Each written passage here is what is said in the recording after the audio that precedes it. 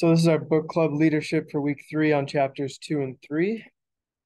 First, we'll talk about chapter two in its summary. Uh, first, Bolden moved schools in the fourth grade due to redrawing of school zones, and he moved from a school that was primarily middle class to a uh, primarily lower class school. And at this new school, it had a much higher gang activity prevalence. Um, and at this new school, Bolden was bullied repeatedly because he was talking to a guy's girlfriend, and he continually talked to this guy's girlfriend, and eventually, eventually, eventually, he fought back against the bullying.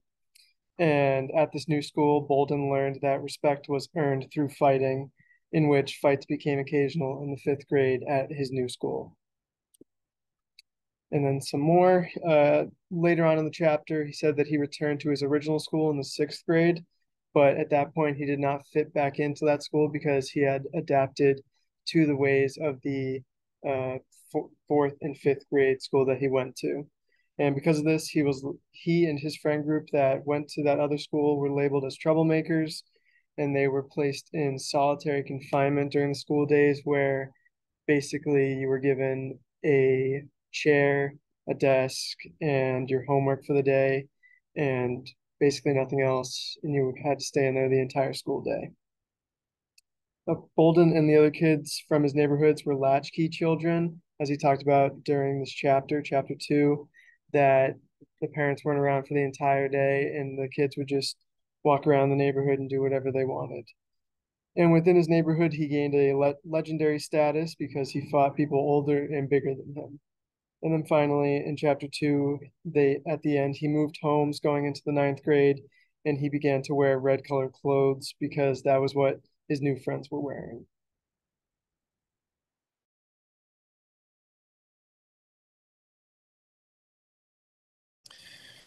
Okay, so for within chapter three, it explains how Bolden began high school realizing that he had no place or purpose within his new established environment along with his friends as well.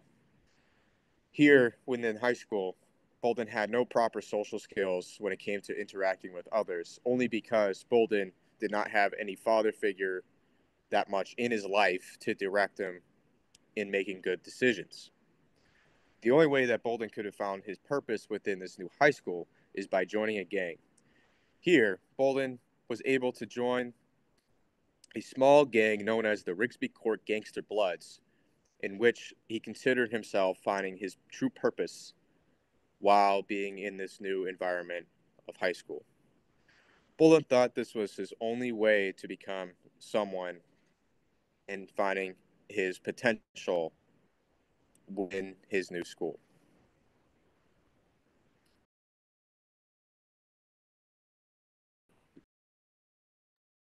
So some connections between chapters and theories for the social disorganization theory that we uh, learned this week. Uh, when Bolden discusses life at his new school, beginning in fourth grade, he talked about how all the de-escalation techniques he learned at his old school were thrown out because uh, the culture of his new school was violent, and he adapted to that culture by becoming violent himself. Uh, he also said that, or it also was implied in this chapter that the social control was non-existent at Bolden's new school as the teachers couldn't control the students to behave, which led to increased social disorganization and more delinquency. And then just a chapter one connection for chapter two. He was bullied at his old school too, and he fought back against his bully because the teachers did nothing.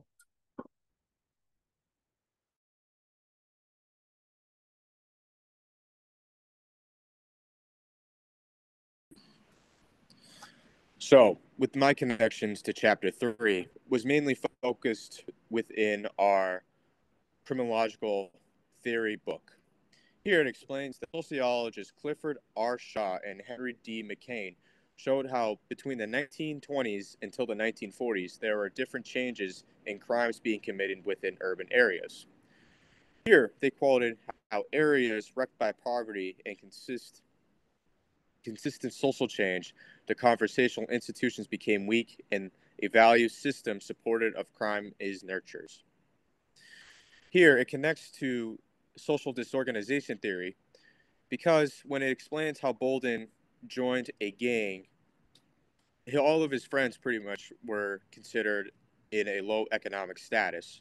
So it connects to the social dis- social disorganization theory because low economic areas develops juveniles turns them towards delinquency, which, for an example, is gang activity.